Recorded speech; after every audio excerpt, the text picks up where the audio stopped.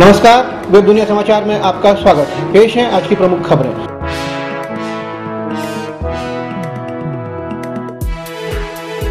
IS आतंकवादियों ने बम से उड़ाए सद्दाम हुसैन के आलीशान महल। आतंकवादी संगठन इस्लामिक स्टेट ने इराक के पूर्व राष्ट्रपति सद्दाम हुसैन के गृहनगर तिकरित में उनके नौ आलीशान महल गुरुवार को बम विस्फोट से उड़ा दिए।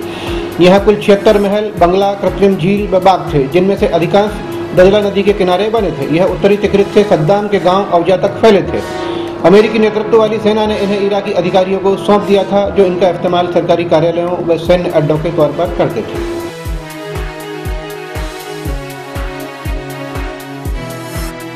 पाकिस्तानी रेंजर्स ने सीमा चौकियों को निशाना बनाया पाकिस्तानी सैनिकों ने गुरुवार रात सीमाई इलाकों और आठ सीमा चौकियों को निशाना बनाया, जिसमें जम्मू ज़िले में अंतर्राष्ट्रीय सीमा से लगा अरनिया कस्बा भी शामिल है। इस घटना में तीन लोग घायल हो गए हैं। एक पुलिस अधिकारी के मुताबिक पाकिस्तानी रेंजर्स ने जम्मू ज़िले के आर और अरनिया सब सेक्टर में नागरिक इलाकों और अंतर्राष्ट्रीय सीमा के पास की चौकियों में छोटे हथियारों से भारी गोलीबारी की और मोर्टार दागे।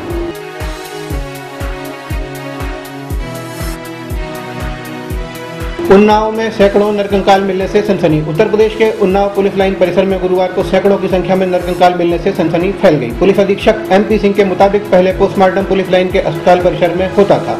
उस समय करीब 400 शवों के विभिन्न अंग संरक्षित किए गए थे। ये कंकाल उन्हीं अंगों के प्रतीक होते हैं।